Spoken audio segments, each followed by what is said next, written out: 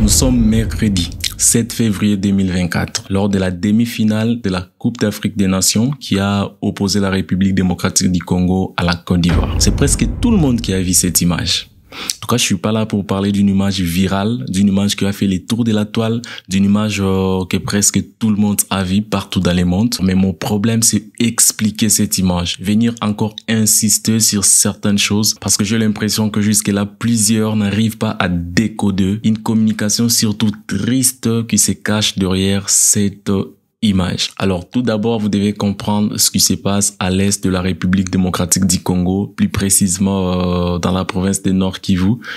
Donc ça fait plusieurs décennies, en tout cas moi je pourrais bien dire plus de 28 ans, que ces problèmes existent et que ça continue à persister.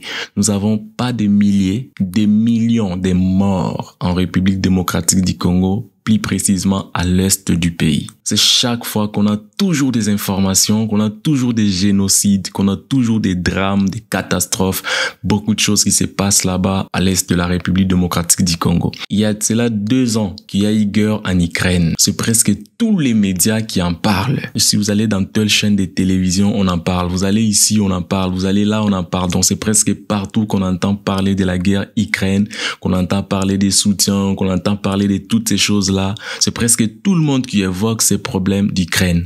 Mais il y a plus de 28 ans qu'il y a guerre en République démocratique du Congo à l'est du pays. Personne n'en parle. On tue les gens, on tue les êtres humains, on tue aussi des personnes, des vivants comme vous.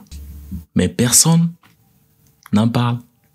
Donc bref, derrière cette image de léopard de la République démocratique du Congo se cache ce message fort, un message où des gens meurent, le message où on tue les gens chaque jour, mais personne n'en parle. Laisse-moi vous dire que la République démocratique du Congo avait une mission, un objectif, un message à passer. Nous avons peut-être pas réussi à obtenir cette victoire, soit cette coupe, mais laisse-moi vous dire que nous avons réussi à passer un message fort.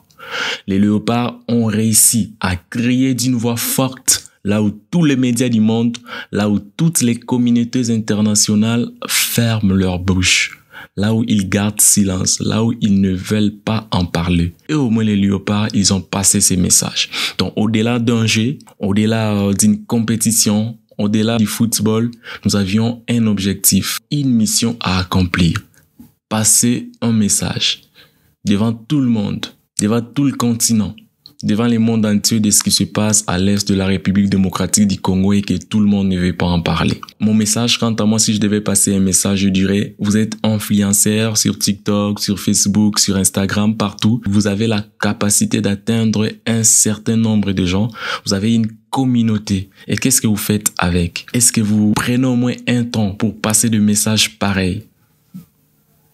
Est-ce que vous prenez au moins ne serait-ce que 5 minutes, pas trop, 5 minutes pour véhiculer un message où les êtres humains sont en train de perdre leur vie? Il n'y a pas une chose plus triste que celle-ci. Voir un petit bébé qui ne sait rien devant le cadavre de sa mère. Qu'est-ce que ça donne? Sa mère innocente qui ne sait rien du tout.